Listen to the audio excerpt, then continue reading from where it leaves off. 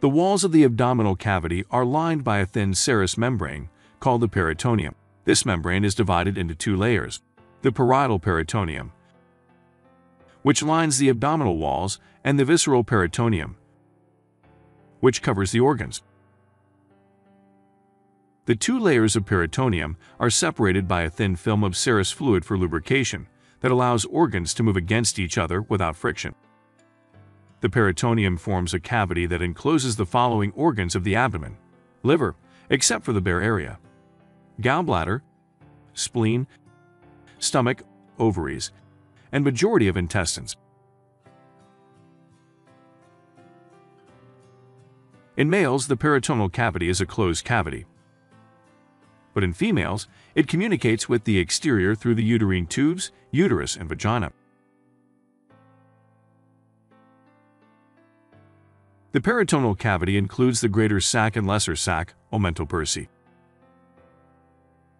The greater sac is located between the inner surface of the anterior abdominal wall and the outer surface of the abdominal viscera.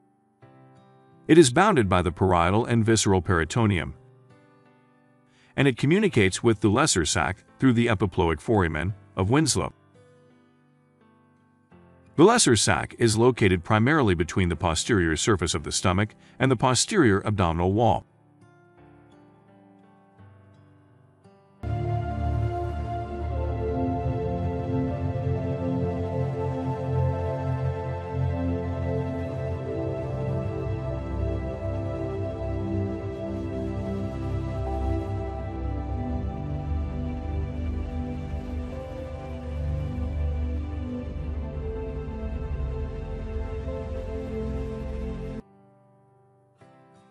Numerous folds of peritoneum extend between organs, serving to hold them in position and at the same time enclose the vessels and nerves proceeding to each structure. These folds or double layers of peritoneum are termed mesentery, omenta, and peritoneal ligaments. The mesentery is a double layer of peritoneum that encloses the intestine and attaches it to the abdominal wall. The mesentery serves as a route for blood vessels, lymphatics, and nerves, to reach the small intestine. An omentum is a mesentery or double layer of peritoneum that is attached to the stomach. The normal omentum is usually imperceptible on routine scans, visible only when fluid is present. The greater omentum is a fat-laden fold of peritoneum that drapes down from the greater curvature of the stomach and connects the stomach with the spleen and transverse colon, whereas the lesser omentum attaches the duodenum and lesser curvature of the stomach to the liver.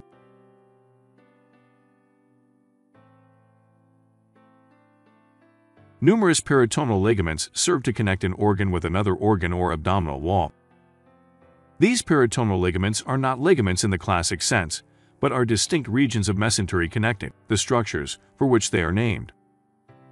Three regions of the greater omentum that are characterized as peritoneal ligaments are the gastrocolic, gastrosplenic, and gastrophrenic. These ligaments attach the greater omentum to the transverse colon, hilum of the spleen, greater curvature and fundus of the stomach, diaphragm, and esophagus.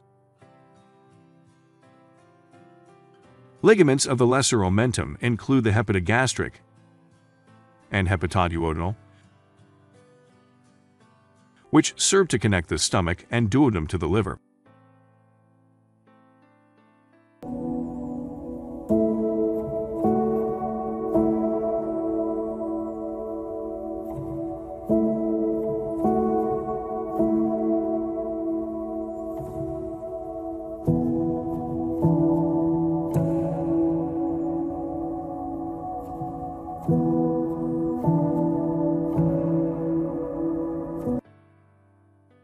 Ligaments associated specifically with the liver are the round ligament ligamentum teres, falciform ligament, and coronary ligaments. The round ligament is a remnant of the left umbilical vein of the fetus and runs within the free inferior margin of the falciform ligament to the umbilicus. The falciform ligament extends from the liver to the anterior abdominal wall and diaphragm, forming a plane that divides the liver anatomically into right and left lobes. The falciform ligament provides the structural support that attaches the upper surfaces of the liver to the diaphragm and upper abdominal wall. The coronary ligaments surround the superior pole of the liver and attach the liver to the diaphragm, forming the margins of the bare area.